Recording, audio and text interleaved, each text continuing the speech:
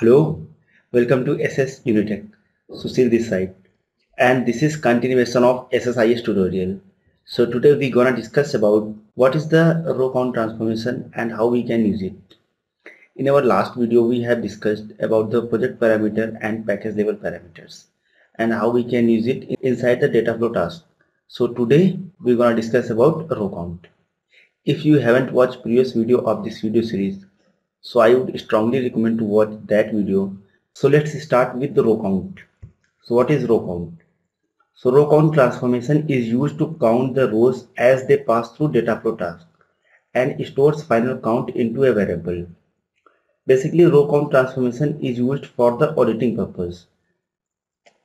So here as we can see first of all we have to use a data flow task and inside data flow task we are going to get the values from flat file source.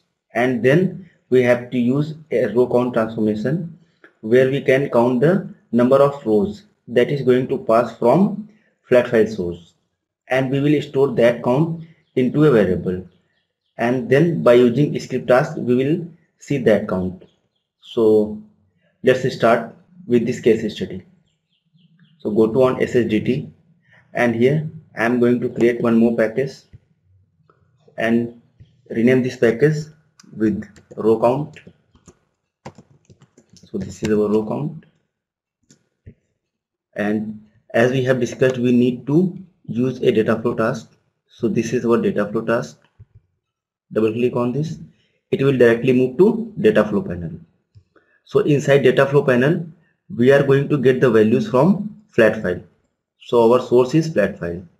So we can drag and drop this flat file source and need to make the connection for this flat file source. Double click on this. Then it will ask for flat file connection manager. Then click on new.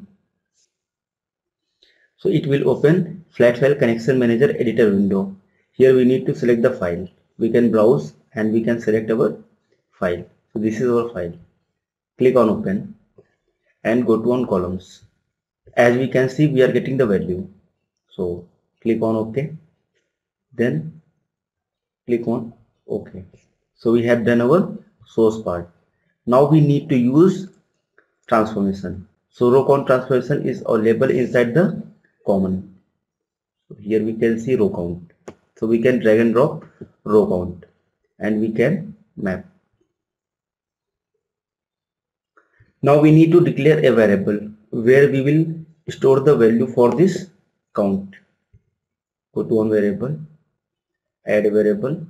Here we need to specify count and value should be integer. So we have done close it and now double click on this row count. Then we can see it will ask for variable. From which variable we want to store the values? So we want to store in this variable. Click on ok. So we have done our row count transformation now we need to check the value then go to on control flow panel. So inside this control flow panel we have to use script task. By using we can see the output. Now map and double click on this script task. Then it will ask for scripting language. I am going to use c and we have option for vb as well. Here we have two options. First is read only variable second is read and write only variables. So i am going to use read only variable. Click on this. Then we can select our user count. Then click on ok.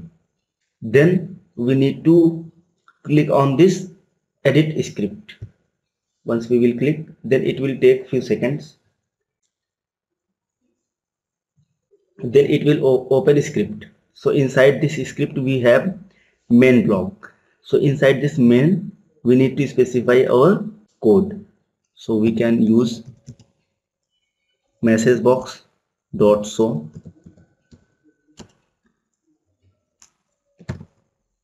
then dts dot variables. Inside the bracket we need to specify our variable dot value dot to string. So we have done our code and this code will be available on the description of this video. So you can copy if you need. Then close it click on ok. So now I am going to execute this package.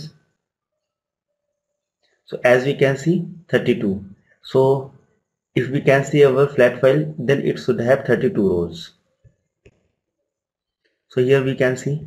So we have total 32 rows. So these 32 rows are going to display by row count transformation. So i hope you have understand how we can use the row count transformation.